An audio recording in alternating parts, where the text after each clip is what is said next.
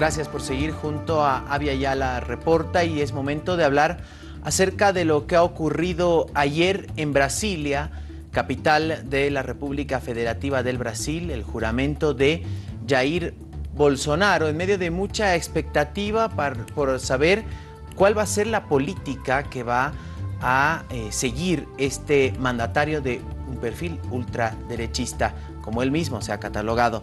Para hablar de este tema, hemos convocado al colega periodista brasileño Daniel Oichisica. ¿Cómo está? Muy buenos días. Diego Montaño lo saluda desde los estudios de Avia Yala Televisión en la Ciudad de La Paz.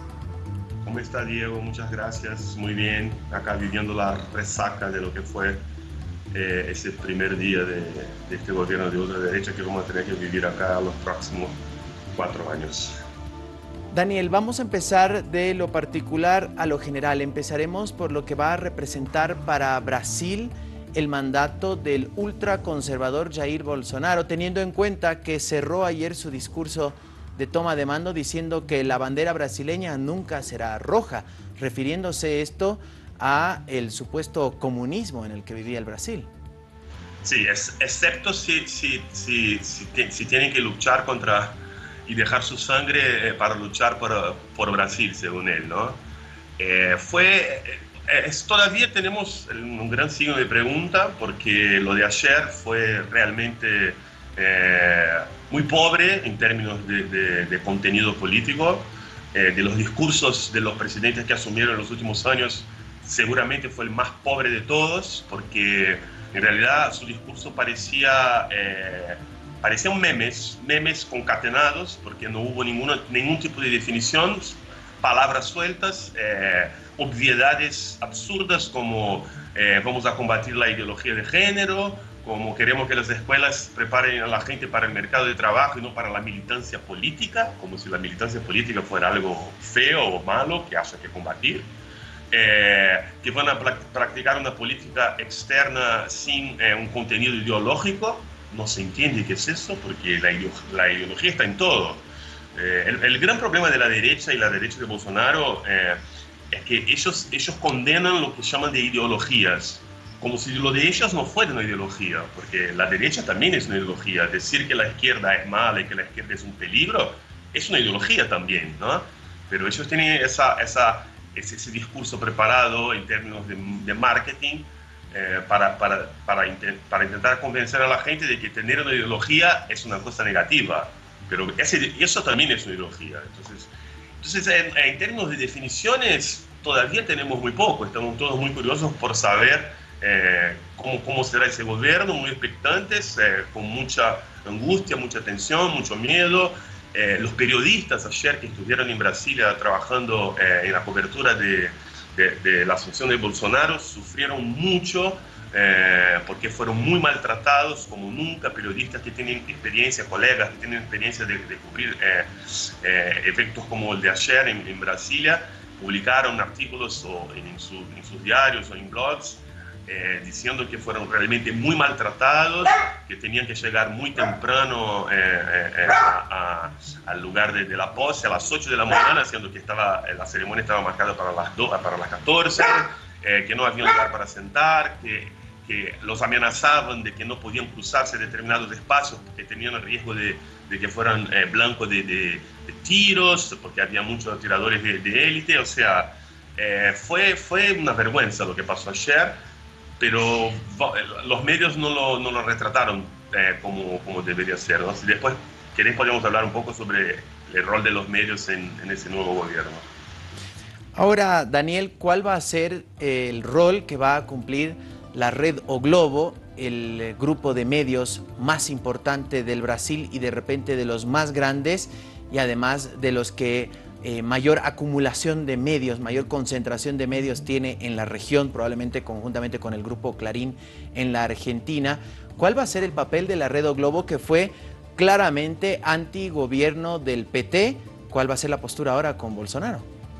Bueno, con Bolsonaro Globo está, vive una situación también muy complicada e inédita en su historia porque Bolsonaro es un claro aliado de la competencia de TV Globo, que es la TV Record, que es un grupo también muy grande de comunicación que pertenece a un obispo de la iglesia evangélica, que se llama Edir Macedo, que es amigo, amigo personal de Bolsonaro.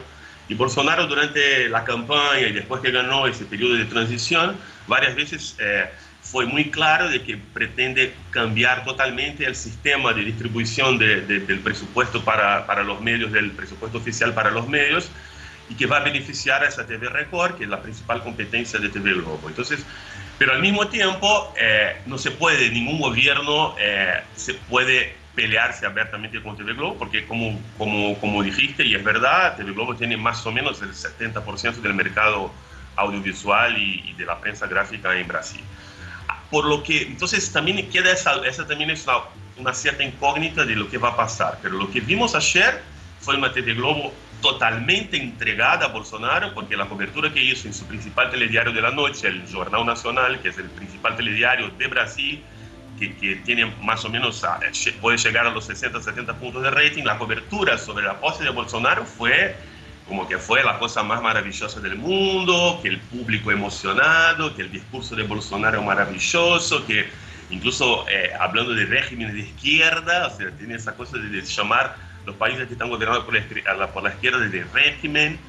Eh, la cobertura ayer fue lo más eh, eh, cercana y favorable posible a Bolsonaro y sorprendió a mucha gente, porque mucha gente pensó que, que, el Globo podría tener una visión un poco más crítica de lo, que, de lo que pasó ayer y de lo que puede ser el gobierno, pero por ahora están como amigos, enamorados y casados, porque la cobertura fue muy positiva. Ahora, hay otros, hay otros intereses también por detrás, ¿no? Porque a TV Globo le interesa algo de lo que Bolsonaro pretende hacer en la economía.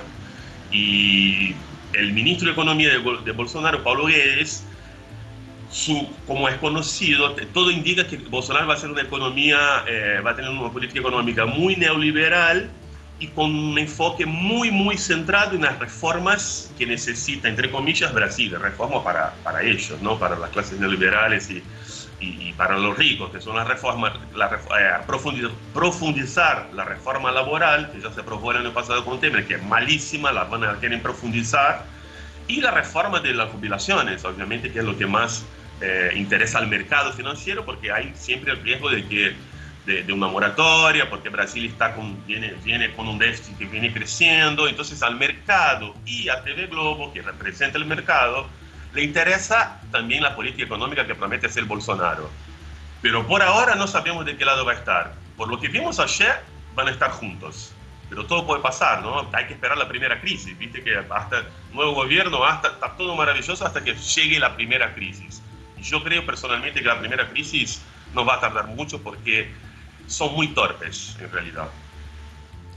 Daniel, Ahora refiriéndonos en el contexto de la geopolítica internacional, vemos un Bolsonaro muy cerca de Donald Trump, prácticamente un seguidor o un fan, diríamos, de Donald Trump y de la manera de hacer política va a ser muy parecida, y también muy cercano a Israel, a Netanyahu. Han tenido, de hecho, reuniones previas a la prestación de juramento, han firmado ya acuerdos en temas de seguridad, muy parecido a lo que está haciendo Mauricio Macri también. Pero vemos también un Bolsonaro que aparentemente va a darse la vuelta y va a girar su vista hacia Estados Unidos y al proteccionismo en desmedro de lo que es el Mercosur. Sí, no soy desmedro que es el Mercosur y ahí también hay que poner el tema China, ¿no? ¿Cómo quedará? Y los países palestinos, Brasil tiene muchos acuerdos con los países palestinos, con, o sea, eh, con el Oriente que no está alineado con Israel. Eh, es, es, un tema, porque ahí se, ahí se mezcla el tema, el tema político, el tema ideológico y el tema comercial, es por ahí lo más importante. Hoy Brasil tiene más, tiene más relación comercial con China que con Estados Unidos. ¿Y cómo van a hacer ese cambio?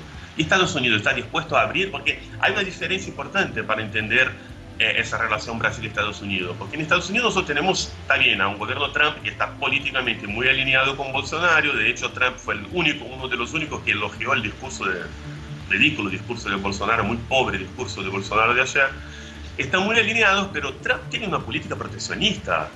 Y Paulo Guedes, que es el ministro de Economía, y, y, las ideas de Bolsonaro para su gobierno no son precisamente hacer una política proteccionista. Van a abrirse, quieren vender todo, quieren, quieren poner el Estado mínimo, quieren vender todas las estatales, quieren ampliar la participación privada en Petrobras, van por las privatizaciones, van por la apertura, apertura de un mercado. Entonces, es muy, sería muy ingenuo pensar que un gobierno pueda alinearse con, con, Estados Unidos desde el, lado, desde el lado político, pero desde el lado comercial, ¿cómo quedamos? Porque Estados Unidos no, no se va a abrir a Brasil comercialmente. Entonces, parece, parece una, una charla de ingenuos, o sea, solo Estados Unidos gana con ese acuerdo, con esos acuerdos o con esa cercanía, porque ¿qué gana Brasil? ¿Estados Unidos se van a abrir? No, no se van a abrir, pero Brasil sí se va a abrir. Y entonces, ¿cómo quedamos? Vamos a salir perdiendo, obviamente.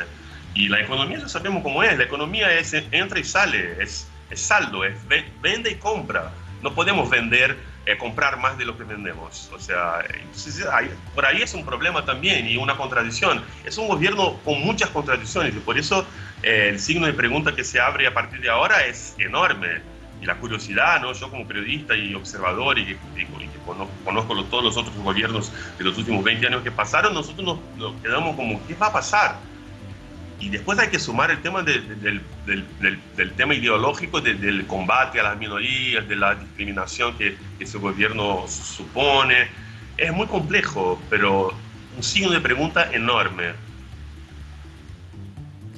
Daniel, ¿cuál crees que va a ser la relación con los países de la región? Vemos un Jair Bolsonaro mucho más cercano con un Sebastián Piñera que con un, incluso que con un Mauricio Macri, que sigue la línea de eh, gobiernos de derecha, pero dijo que la Argentina y el Mercosur no le interesan.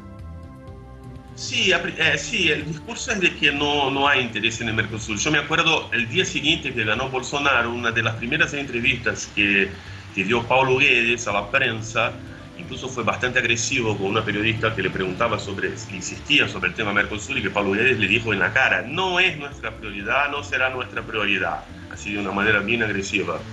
Y esa es la idea, no es la prioridad. Ahora, el Mercosur es muy importante para, para la, para, para la, la, la, fuerza, sobre todo en un mundo tan, tan fragmentado como está ahora, es muy importante esa unión, pero yo no creo, no apuesto mucho a que será una prioridad de este gobierno.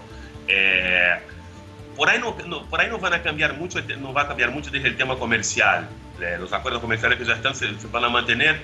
Lo que sí puede haber es un cierto, una cierta distancia política entre los gobiernos. ¿no? En Argentina hablabas de Macri, pero Macri ya va por su último año, se va, va a tener muchos problemas para reelegirse Macri porque tiene una política muy, tiene un nivel de popularidad muy bajo y hizo una política muy, muy mala. No sé si, si logrará un nuevo mandato. Después, bueno, está Piñera que recién empieza en Chile, que sí puede ser un gran aliado, pero no, no los veo tan, eh, tan amigos políticamente. A Bolsonaro le interesa estar más amigo de, de, Estados Unidos, pero vuelvo a repetir, eh, hay que ver qué, qué, gana Brasil con esa cercanía con Estados Unidos. Deberían apostar mucho más por el Mercosur, pero tampoco veo que va a haber mucho empeño en mantener el Mercosur activo y fuerte como fue en el primer periodo de, de Lula con Kirchner y, con Evo, etc. Pero me gustó mucho la presencia de Evo ayer, me pareció un gesto político eh, muy correcto, más allá de también estar de acuerdo con la decisión del Partido de Trabajadores y de otro partido de izquierda acá en Brasil de no participar en esa ceremonia por considerar que todo el proceso eh, fue un proceso medio eh, dudoso desde el punto de vista legal, de que esa elección no fue una elección, una elección tan democrática como, como se, se suele decir o como se viene intentando reforzada, no fue. Pero desde el punto de vista político me pareció un buen gesto de que, de que Evo esté ahí y también para, para mostrar que la, que la izquierda y que el progresismo eh, no va a dar la espalda simplemente eh, porque es un gobierno de derecha, pero tampoco van a permitir que, que, se haga todo lo que quiera, ¿no? Así que, pero no, no creo mucho en el futuro de Mercosur para terminar de contestar tu pregunta. Daniel, muchas gracias por este contacto. Nos quedamos con la idea de la palabra que mencionabas, incertidumbre, respecto a cuáles van a ser las políticas eh, que va a implementar Jair Bolsonaro para el Brasil y también para el contexto regional. Muchas gracias por este contacto. Gracias a ustedes, buenos días. Buenos días, Daniel Oichisica, periodista brasileño, haciendo un análisis respecto a lo que significa la investidura del presidente de ultraderecha Jair Bolsonaro en el Brasil, sus repercusiones y connotaciones en el aspecto y la política internacional.